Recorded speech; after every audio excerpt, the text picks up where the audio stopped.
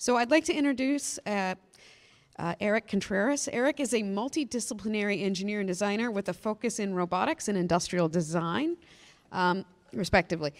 The, their work revolves around personal expression in mass produced tech that can be accomplished through open source innovation. And I'm proud to introduce Erik. I'll hand it over. Oh, 10 minutes? Sounds good. Hello. How's everyone doing? Uh, hope everyone's having a good morning. Uh, out of curiosity, for changing slides, is just a, a click? Okay, perfect. Well, hello. My name is Erik Contreras. Oh, ay Dios. Uh, back. Okay, let me. oh, can I? Am I? Am I? Did I done? done do, oh, oh. My apologies. oh, thank you. Uh, I guess as we go through the, the technical aspect, uh oh. Uh, should I? Is it on my side? I mean, I can kind of go from the the top and and also multitask where I'm. I think it'll be a uh, email on my end. Uh, boop boop boop boop boop. Oh, and this should be. Get out of here. I should say share, and it should be coming up. Maybe. Perfect. Oh, ooh, these are the older ones. well, we'll do what we can. Um, all right. So, hello, my name is Erik Contreras. I am a graduate researcher from the University of California, uh, Davis. Uh, I come from a very multidisciplinary background. On one hand, I am a uh, MFA uh, graduate student in design, specifically industrial design and design for repair. And then on the other hand, I am a, also a graduate student in uh, mechanical and aerospace engineering uh, in open source robotics and autonomous systems. Uh, and I'll kind of dive on that near the end. So I'll kind of dive a little, I'll discuss a little bit on the background of my work. Um, so a lot of this work um, is uh, around e-waste. Uh, or, ooh, are you sure there's no? there's the newer, or this is the most recent slides. Uh, I guess we'll just go from here. oh, it's okay. Um, so a lot of the motivation in my work uh, is uh, based around um, uh, the reuse of electronic waste and um, um how we can best uh, uh, buffer a lot of the accumulation that we see in our world. Um, one of the biggest issues has been uh, with uh, issues uh, with planned obsolescence uh, that we can kind of see here from iFixit. Um, oh, I, I ooh, is there? There's no. I guess we'll just. Um, which we, which right here we have a photo of um, the uh, uh, Microsoft Surface, which had a 0 out of 10 for iFixit, kind of uh, re removing a lot of aspects of uh, potential of hacking and, and um, uh, that comes with, uh, with our um, electronics. kind of going forward, I've been seeing a lot of work around um, uh, the maker movement and the movement in open uh, source communities, uh, certain aspects of like Mum No Computer with his um, or Furby, Organ, as well as the work that's being done by Eric Paulos at the uh, uh, Jacobs Institute in Berkeley, uh, trying to find personal expression through, um, um, through um, obsolescence and obsolete tech. Uh, this was a huge motivator for myself. I grew up in the Bay Area, uh, seeing a lot of innovation, and with innovation, a lot of waste. Uh, as, a, as a child of the 90s, there was this whole battle around uh, data storage. Uh, shout out to iOmega with their use of like Jaz drives and um, uh, zip disk, and, and I think also the industrial, the industrial design that came with iOmega's work. And so just seeing all of this innovation and creativity and, and effort being put in these, these spaces to be put into the, the garbage, being considered useless, was such a, a frustrating aspect. So as I, I was an avid dumpster diver throughout the 2000s, 2010s, and even to the day, to this day, trying to find alternatives of this, of this waste that just, uh, I don't know, it just felt wasteful. so uh, this led to me to um, you know accumulate a, uh, I guess a surplus of, of, of electronics, trying to find new homes for it. I, I consider myself a foster parent of, of electronics, and I found this in a lot of communities, specifically in. Going a little too far ahead, um, like the uh, like in the console system. So I felt that you know when it came to electronics, it was a very fractured dynamic between the producers and um, you know how we recycle it.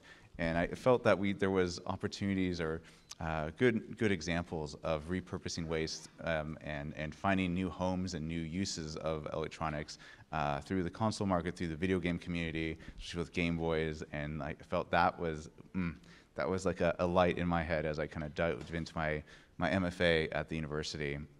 So uh, one of the key questions is how can we extend the lifespan of our products and what can we learn from this?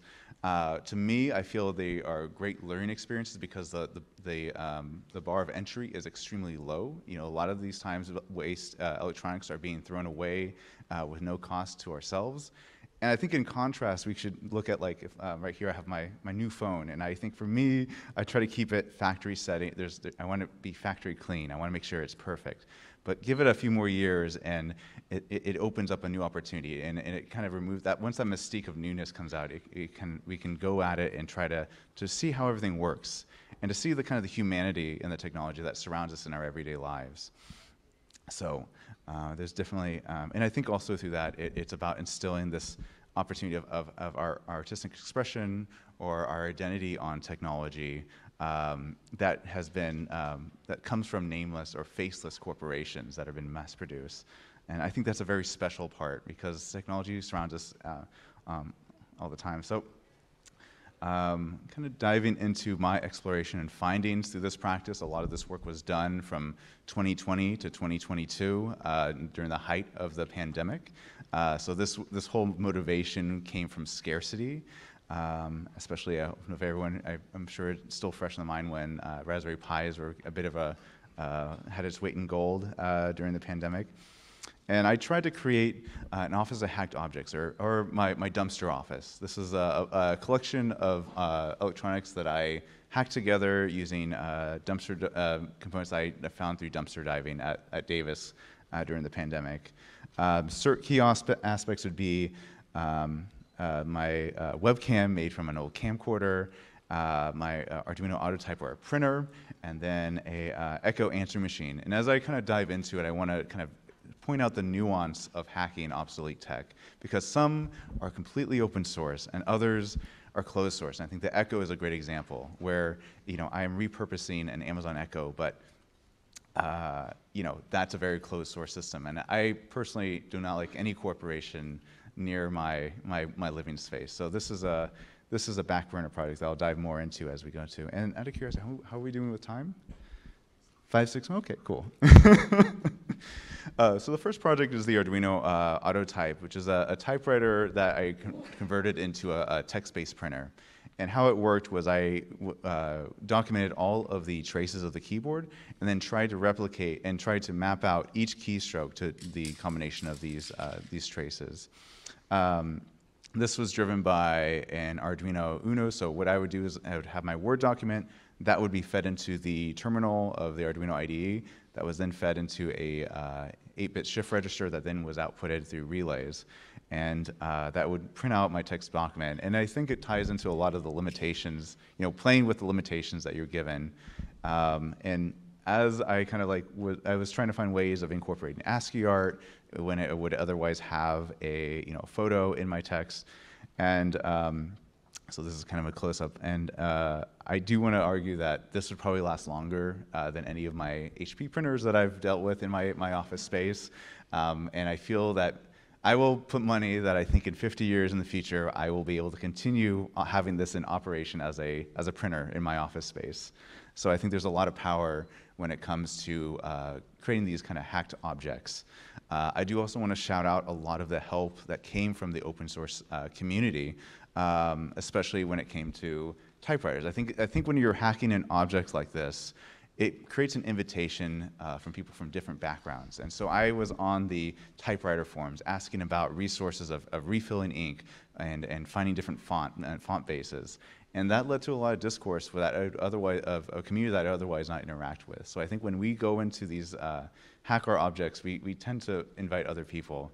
I think there's always this fun, uh, this, uh, this expectation, this, this hope that I'll maybe reach, reach out to one of the engineers that worked on it back in the uh, I believe this is from the late 80s, and see if there's some, some insight of how it was built.